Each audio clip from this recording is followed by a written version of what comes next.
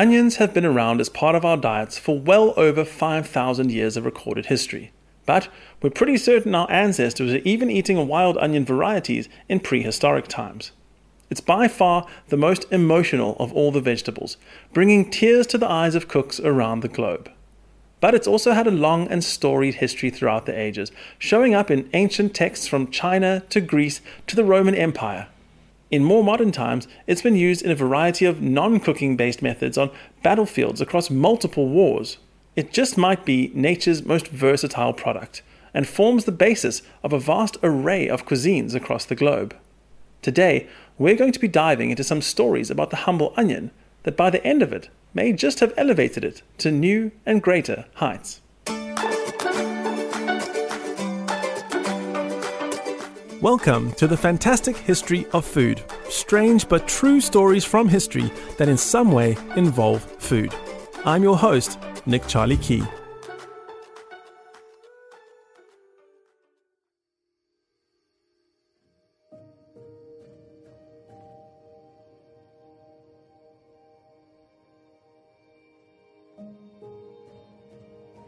Archaeologists, botanists, and food historians throughout the ages have come to believe that onions first originated somewhere in Central Asia. Alternative research points more towards the Middle East, specifically Iran and West Pakistan. But wherever it came from, it has truly taken the world by storm. Our ancestors are believed to have foraged for and eaten the wild onion varieties long before societies moved towards farming and agriculture. As they were eaten and spread by the nomadic people groups, they began to grow all along the earliest migratory routes of the ancient peoples. At some point in time, as the nomadic peoples settled into more permanent societies, onions were one of the first crops to be domesticated and farmed on a semi large scale. They were a favorite choice of agriculture as they were incredibly hardy, less perishable than other vegetables, and could be carried and transported long distances without spoiling. In addition to this, they were fairly easy to grow. They could thrive in a variety of different soils and had a fairly broad range of tolerable climates. They could be dried and preserved for later consumption, or they could be used to prevent dehydration. And, according to all of the texts that mention them, they were incredibly important and valuable to every culture that cultivated them. There are stories and ancient legends from a Native American tribe called the Western Mono, who inhabited the pine forests along the Sierra Nevada mountain range in what is modern day California. It's a beautiful origin story of a specific section of the cosmos. The story tells of a group of six wives from the tribe who had gone out gathering food one day. While they were out, they found and snacked on some wild onions. Upon returning to their homes, their husbands were horrified by their pungent onion breath and all six of the wives were told to leave their homes until their breath returned to normal. After a while, the men began to miss their wives and, feeling lonely, went out together to look for the woman. But it was too late. The women had wandered off into the sky to eat their onions in peace, and in doing so had become the six star cluster known today as the Pleiades. In ancient Egypt, onions were at one time an object of worship, with its many layers symbolizing heaven hell, earth, and as the layers went on and on, it also symbolized eternal life. In fact, the pharaoh, King Ramesses IV, was buried with onions in each of his eye sockets. It was a common motif of the time on funereal tombs to have images of priests blessing onions and laying their leaves and roots at an altar. In contrast, the religious leaders of the day also believed that onions were a powerful aphrodisiac and could incite desire in anyone who consumed them. Needless to say, these religious leaders stayed well clear of consuming these powerful alliums themselves. Ironically, however, the ubiquity of onions in Egypt even shows up in the Bible as the Israelites lament their exodus in the wilderness and their frustration with only eating manna. Numbers 11, verses 4 to 6 reads as follows They began to crave other food, and again the Israelites started wailing and said, If only we had meat to eat. We remember the fish we ate in Egypt at no cost, the cucumbers, melons, leeks, onions, and garlic. But now we have lost our appetite. We never see anything but this manna. It seems that onions were so good, they were apparently even better than the Israelites' memory of having been the Egyptians' slaves.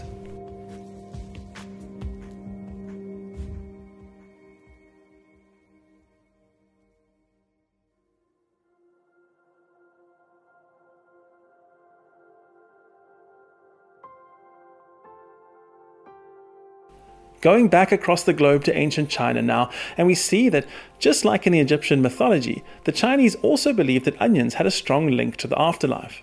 In their mythos, though, onions were believed to have magical properties that could ward off evil spirits from the underworld. So they would hang onions above their doors and windows so the spirits couldn't enter their homes. In times of sickness or disease, when it was believed that a spirit was the cause of the illness, they would consume large quantities of raw onion as a way to drive the spirit out. In another case of accidentally doing something for one reason that works for a totally different reason, nutritional data actually backs up this practice.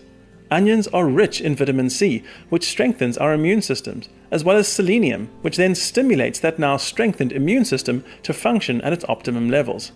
This cycle tends to reinforce the magical properties of pre modern medicinal cures. In the ancient Greek Olympics, onions seem to have been used as a form of doping. Before events, in order to increase the athlete's strength and courage, they were fed large quantities of onions and were made to drink raw onion juice as both a thirst quencher and a body fortifier. Honestly, that sounds so incredibly bleak, but it seemed to function like an ancient Greek equivalent of Red Bull. Then, as if filling your insides with onions weren't enough, Athletes would then massage their whole bodies with onions and onion juice in order to toughen up their skin and get them ready for the coming events. Once again, it seems that the Greeks may have been onto something, as onions do in fact have anti inflammatory qualities. They help to slow down oxidative damage to cells, and they also protect against heart disease. It would seem that onions, despite modern day attempts to push a myriad of other berries or vegetables, have been the real superfood all along. In fact, a more recent folk remedy suggests using onions as a cure for the common cold. Now, I'm sure from what I've just been telling you about the benefits of consuming onions that this would make perfect sense, right?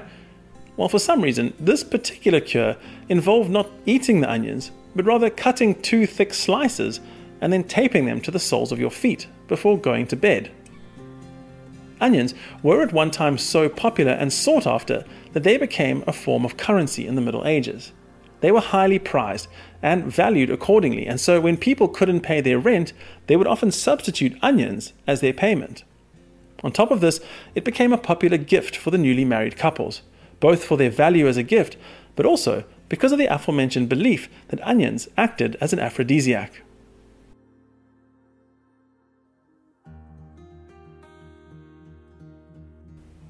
And as if all we've heard about the magical healing properties of onions isn't enough, their juices also happen to be a mild antibiotic. In fact, in the American Civil War, onion juices were routinely used to treat the soldiers' gunshot wounds. It had become such an important part of the battlefield treatment regimen that during the war, when his supply of onions was running low, General Ulysses S. Grant sent an angry letter to the War Department in Washington saying simply, I will not move my troops without onions. So vital were he and his men to the war effort that within a few days they'd sent him three entire train cars full of onions. And this was not the first time that General Grant had wanted for onions in the war, as it shows up in his correspondence from November 1, 1862, when he sent a telegraph saying, I wish for a supply of potatoes, onions, whiskey, and beer. It is absolutely necessary that these articles should be had. Because, you know, the four staples of war are potato, onions, whiskey, and beer. Onions and their close relatives garlic were also used in the First and Second World Wars for their medicinal properties. In fact, modern research once again backs up their usage as it shows that garlic juice, for example, inhibits streptococcus, the bacteria behind pneumonia and scarlet fever.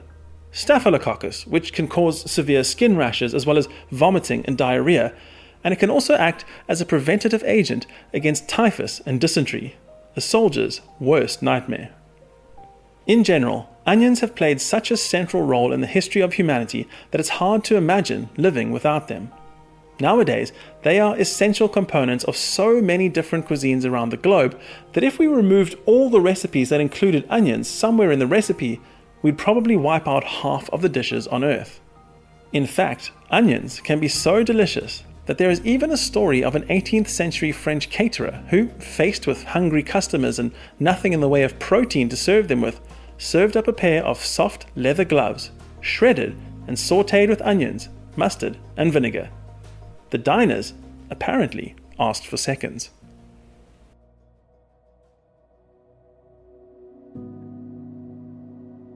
When the first European settlers made their way across to the Americas, onions were one of the few crops they took with them.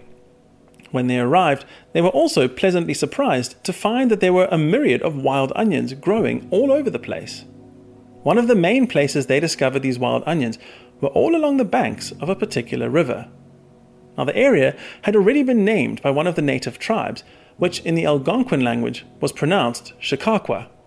This word meant either striped skunk or simply onion. Needless to say, it was probably less to do with the objects and more to do with the fact that both of those things emitted a rather pungent smell. It wasn't until explorer Robert de la Salle wrote about the area and misrecorded it as Chicago that we first got what would become the anglicized version of the name we know today, Chicago.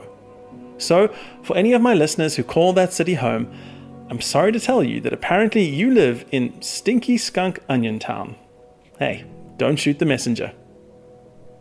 Now, in the 1800s, there was a small British territory, an island just over 20 square miles in size, that had an enormous reputation for producing one particular crop Bermuda onions. That's right, the tiny island of Bermuda was at one time known for being the world's foremost onion producing region so much so that the island had garnered the nickname the Onion Patch. By 1844, the island was growing almost 350,000 pounds of onions per year, almost all of which was marked for foreign export. Sailors and merchant seamen from Bermuda even became known as the Onion Men. In 1877, Mark Twain visited the island and was so enamored with the onions that he found there that he wrote of them the onion is the pride and joy of Bermuda. It is her jewel, her gem of gems. In her conversations, her pulpits, her literature, it is her most frequent and eloquent figure. In Bermudian metaphors, the onion stands for perfection, perfection absolute. Now, what made the Bermuda onion more desirable than other varieties had almost everything to do with long voyage sailors.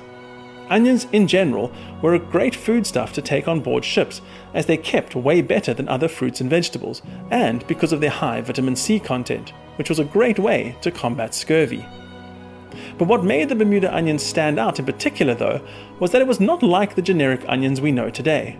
They were, in fact, sweet enough to eat raw, meaning they could be snacked on throughout the day without having to have the ship's cook fry them up first.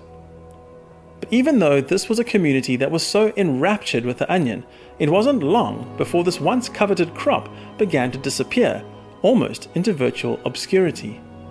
They were pushed out of the market by the vast land masses available to the settled farmers in Texas and Georgia. When the US, who had been the biggest importer of the Bermuda onions, began looking inward for their own supply, subsequently slapped a hefty import tax on foreign onions as well. And this became the death knell for Bermuda's onion trade. By the end of the First World War, the Texan onion trade was booming, and Bermuda's was virtually non existent. One final slap in the face was a Texan colony renaming their town Bermuda, Texas, so that they could still technically sell their onions as Bermuda onions.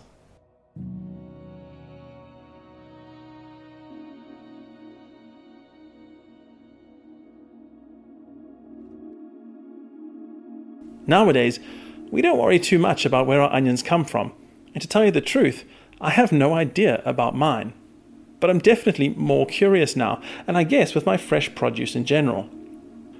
But at the very least, the next time I'm wiping tears from my eyes as I slice into an onion to accompany that night's dinner, I'll remember that I'm just the latest in a long line of humans, stretching back thousands and thousands of years, who are all connected by the common thread of eating this multi layered and much storied bulb.